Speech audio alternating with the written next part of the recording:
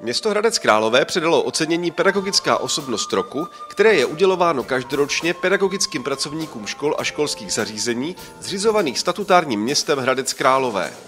Úvahu se bere především pedagogická činnost a zásluhy o rozvoj vzdělávání, aktivity v oblasti výchovy a vzdělávání dětí a mládeže a v neposlední řadě také přínos k prezentaci školy, města či regionu.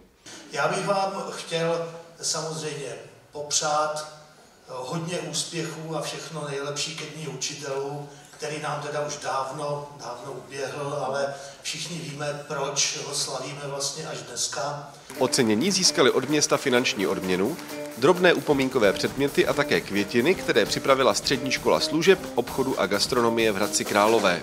Tato škola zajistila také občerstvení. Oceněno bylo celkem 13 pedagogických osobností a program doprovodila kapela Faktorial Orchestra.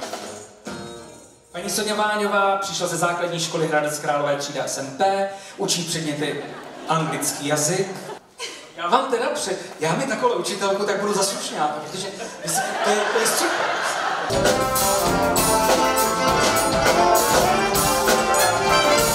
Oceňování pedagogických pracovníků probíhá v rámci oslavy Dne učitelů, pořádané odborem školství a volnočasových aktivit dětí a mládeže od roku 2016. Kvůli pandemii koronaviru bylo letošní předávání přesunuto na říjen.